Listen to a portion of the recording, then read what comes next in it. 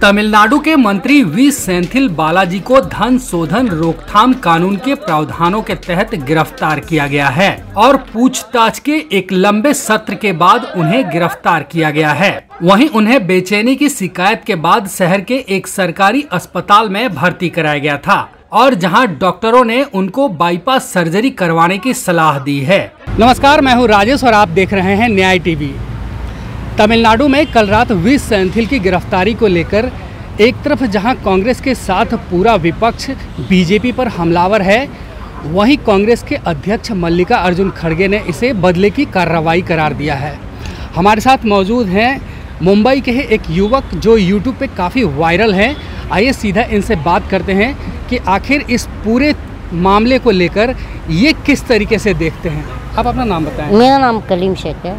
आ, ये बताओ तमिलनाडु में जो कार्रवाई हुई है ईडी की आप किस तरीके से देखते हैं? देखिए हम तो यही हम जनता जो है हम इस नज़र से देखते हैं कि जब से ये नौ सालों में हमने सरकार में देखा कि ये इन जो भी ईडी और सीबीआई की कार्रवाई होती है वो सिर्फ़ विपक्षियों पर होती है।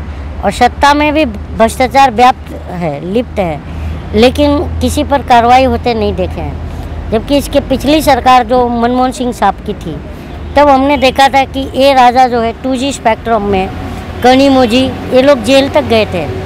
और कोल घोटाले में खुद प्रधानमंत्री जो उस समय के तत्कालीन प्रधानमंत्री थे, उनके ऊपर भी जाँच बैठी थी। लेकिन इस सरकार में कोई जाँच हो नहीं रहा है।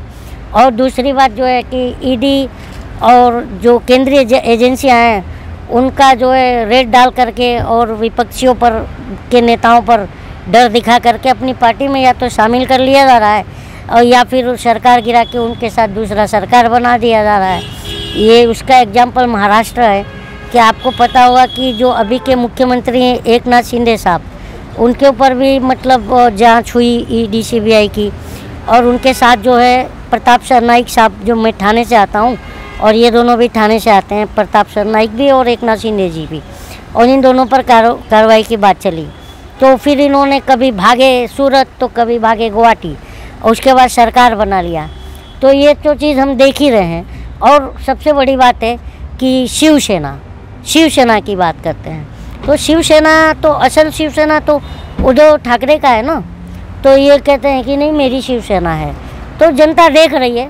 और क्या होता है, देखिए, जो भी होता है, पिछले दरवाजे से अगर आप घुस रहे हैं तो हम जनता भी देख रहे हैं।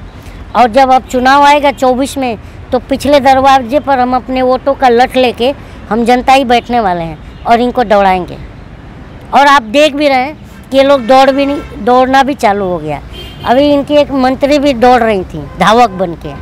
और इसके पहले एक मुख्यमंत्री जो है, पूर्व उप मुख्यमंत्री हैं और राजस्थान में जाके भाषण दे रहे थे और जनता उनके विरोध में नारे लगा रही थी। तो सभा छोड़ के चले गए। तो अभी इसी तरह का कॉमेडी होगा 2024 में। संजय राउत भी ईडी को लेकर बयान दिया है कि अगर ईडी कार्रवाई नहीं करती तो आज सरकार फिर से तो मैं ये बात तो मानता ही हूँ सर। वो इसलिए भी क्योंकि जो कोविड का जो इतना बड़ा महामारी था उस कोविड में भी जो उद्धव ठाकरे ने जबकि आपको पता होगा कि ये पूरी जनता देख रही होगी देख रही होगी कि उस समय जो है सबसे ज़्यादा जो एशिया का सबसे बड़ा स्लम एरिया साइन धरावी है उसमें कोरोना इस कदर फैलने का ये खतरा भी था और फैल भी रहा था। फिर भी उन्होंने उसको इतना अच्छा कंट्रोल किया। सबसे ज़्यादा महाराष्ट्र में ही कोरोना का, बॉम्बे में ही ये था, उसको भी इतना अच्छा कंट्रोल किया। और जगह जगह लोगों को खाने पीने का भी, सामान का मतलब मुहैया भी करवाया था।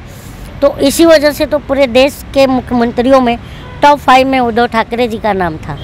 और उद्धव ठाकरे जी ने जिस तरह से ढाई साल जो सरकार चलाई थी उसका आज भी महाराष्ट्र पूरा तारीफ़ करता है। तो ये जो चोर दरवाजे से जो आई है सरकार, वो तो ईडी के भरोसे आई है, जो संजय राउत भी बोल ही रहे हैं। और खुद संजय राउत पर भी इस तरह का जो जाँच चला था, बाद में संजय राउत जी निकल के भी आए। तो जो डर नहीं डर रहा है, वो उनको तो और भी ज़्यादा डराया जा रहा है। जैसे आप तो जनता हम हैं, हम ही वोटर हैं, हम देख भी रहे हैं। और इस बार चौबीस में मैं बार बार कह भी रहा हूँ कि हम लोग मुद्दों के आधार पर वोट करेंगे जो हमारा बेसिक मुद्दा है शिक्षा स्वास्थ्य रोज़गार और महिला सुरक्षा की गारंटी। यही मुद्दा पर हम इन्हें घेरेंगे। लेकिन आखिर में उद्धव ठाकरे के जो विधायक हैं उन्होंने ही उनको सपोर्ट नहीं किया और जिस वजह सबको डर था ना कहीं ना कहीं। आप देख ही रहे थे ना रेड पे रेड गिर ही रही थी। तो ये बात थी। इसकी वजह से सरकार गिर गई। गिर गई। आपको भी पता आप मीडिया से हो आपको देखे थे। प्रताप सरनाइक पर भी जाँच चल रही थी। एक नाथ शिंदे जी पर भी जाँच चल रही थी और भी कई लोगों पर जाँच चल रही थी। और तो ये सब चीज़ें हैं। तमिलनाडु के वी सेंथिल को लेकर कह रही है बीजेपी कि पहले जाँच पड़ताल किया गया इसके बाद गिरफ्तारी की गई। किस तरीके से देख रहे हैं? सर एक बात बताइए कि सब कुछ तो उन्हीं के पास है। हम जनता के पास और विपक्ष के पास क्या है? अब विपक्ष भी कहीं दिखता नहीं है तो हम जनता अब आगे आकर के विपक्ष की भूमिका निभा रहे हैं। और मीडिया भी कहीं दिखता नहीं है। तो मीडिया का रोल हम अदा कर रहे हैं। ये स्थिति है इस देश का। प्रधानमंत्री की नौ साल की सरकार को किस तरीके से देखते हैं? ज़ीरो है सर। प्रधानमंत्री ये नहीं है।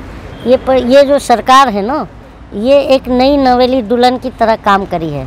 जो नई नवेली दुल्हन हमारे समाज में आती है ना तो काम कम करती है चूड़ियाँ ज़्यादा खनकाती हैं। ताकि घर वालों को लगे कि बहू काम कर रही है। बस यही चल रहा है। तो किन किन मुद्दों को लेकर आप इस तरीके की सोच रखते हैं? शिक्षा स्वास्थ्य रोज़गार शिक्षा में आज हम कहाँ हैं? आपको भी पता है। और हर साल हमारे देश से लाखों की संख्या में लोग बच्चे बाहर पढ़ने जा रहे हैं।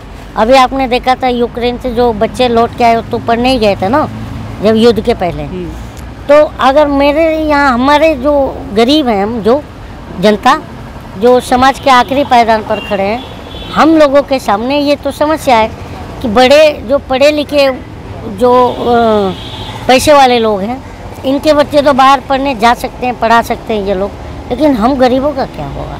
हमारे सामने क्वेश्चन मार्क है। तो विदेशों में फिर कैसे नाम हो रहा है प्रधानमंत्री का? विदेशों में आप लोग नाम कर रहे हो मीडिया बोल रहे हैं डंका बज रहा है और हम जनता का जो ढोलक फटा हुआ है वो तो आप दिखा नहीं रहे हो। ये है।